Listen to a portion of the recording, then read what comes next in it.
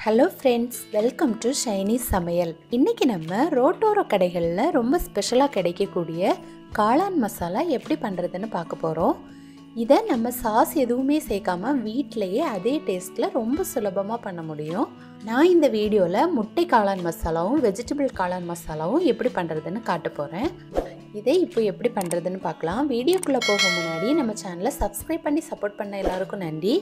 Subscribe பண்ணாதவங்க மறக்காமல் subscribe பண்ணிக்கோங்க. பக்கத்தில் இருக்க பெல் பட்டனையும் கிளிக் பண்ணிக்கோங்க.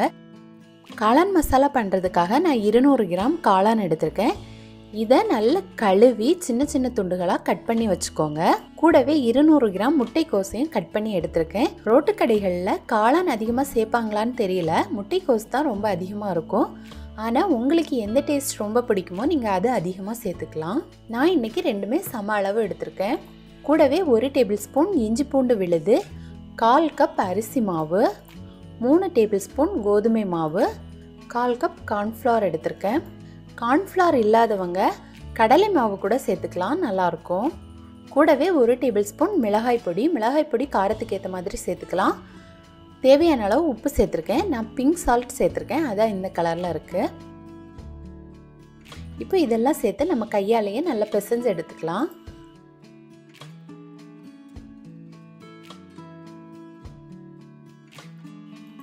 அடுத்து இதில் கொஞ்சம் கொஞ்சமாக தண்ணி சேர்த்து நல்ல கெட்டியான பதத்தில் மிக்ஸ் பண்ணி எடுத்துக்கணும்.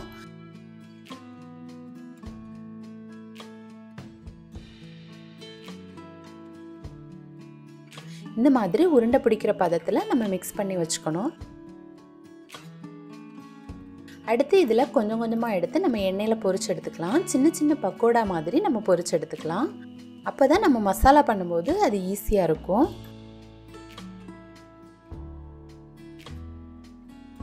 அப்பப்போ திருப்பி விட்டு நல்லா ஈவனாக வேக வச்சு எடுத்துக்கோங்க.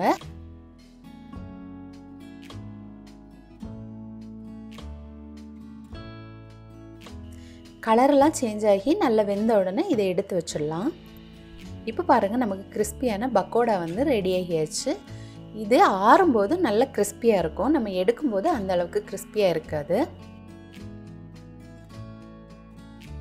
இப்போ இதை நம்ம சின்ன சின்ன துண்டுகளாக உடச்சி வச்சுக்கலாம்.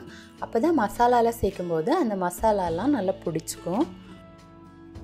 அடுத்து இந்த மசாலாவுக்கு நம்ம ஒன்று முதல் இரண்டு கப் தண்ணி வரை எடுத்துக்கலாம். நான் ஒரு கப் தண்ணி எடுத்திருக்கேன்.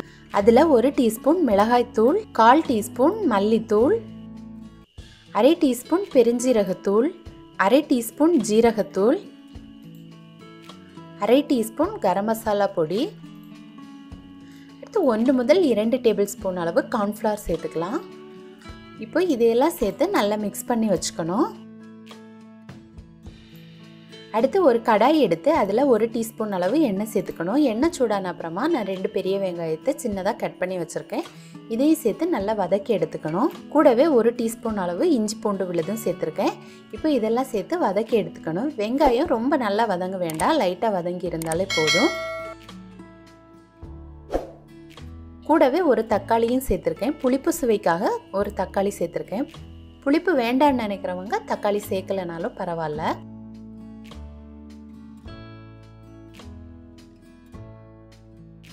இப்போ இதெல்லாம் சேர்ந்து வதங்குற உடனே நம்ம மிக்ஸ் பண்ணி வச்சுருக்க தண்ணியை இதில் சேர்த்துடணும். அடுத்து இந்த மசாலாவுக்கு தேவையான அளவு உப்பு சேர்த்துக்கணும். நம்ம பக்கோடாலையும் உப்பு சேர்த்துருக்கோம். அதனால் உப்பு பார்த்து சேர்த்துக்கோங்க.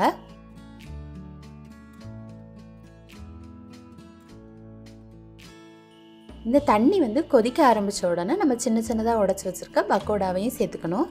இப்போ இதெல்லாம் சேர்த்து நல்லா மிக்ஸ் பண்ணி கொடுத்துக்கணும். இதை கொஞ்சம் நேரத்துலையே நல்லா திக்காகி வந்துடும். அந்த டைம் நம்ம அடுப்பை ஆஃப் பண்ணிடலாம்.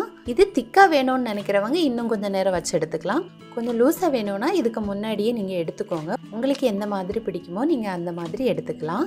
இப்போ நம்ம அடுப்பை ஆஃப் பண்ணிடலாம். அடுத்து இதில் ஒரு டேபிள் ஸ்பூன் கொத்தமல்லி தலையும் சேர்த்து நல்லா மிக்ஸ் பண்ணி எடுத்துடலாம். காரம் பார்த்து சேர்த்துக்கோங்க. நம்ம பக்கோடாலையும் காரம் சேர்த்துருக்கோம். இதுலேயும் கம்மியாக சேர்த்துக்கோங்க. இல்லைனா ரொம்ப அதிகமாக காரம் இருக்கும். கலர் அதிகமாக வேணும்னு நினைக்கிறவங்க காஷ்மீரி சில்லி சேர்த்துக்கலாம். இப்போ நமக்கு சுவையான வெஜிடபிள் காளான் மசாலா வந்து ரெடி ஆகியாச்சு. இதை சூடாக பரிமாறினா ரொம்ப டேஸ்ட்டாக இருக்கும். கடைசியாக இதில் கொஞ்சம் வெங்காயமும் கொத்தமல்லி தலையும் சேர்த்துடலாம். இப்போது நமக்கு சூப்பரான வெஜிடபிள் காளான் மசாலா ரெடி ஆகியாச்சு.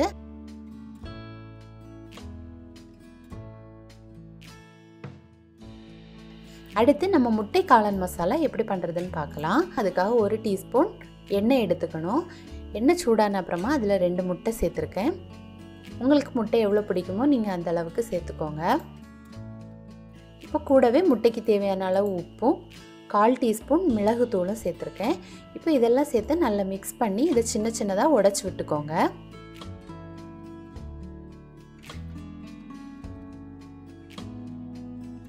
முட்டை வெந்து ரெடியான உடனே நம்ம செய்து வச்சுருக்க காளான் மசாலாவை சேர்த்துடலாம். காளான் மசாலா எவ்வளோ வேணுமோ நம்ம அந்த அளவு சேர்த்துக்கலாம். இதெல்லாம் உங்கள் விருப்பம்தான்.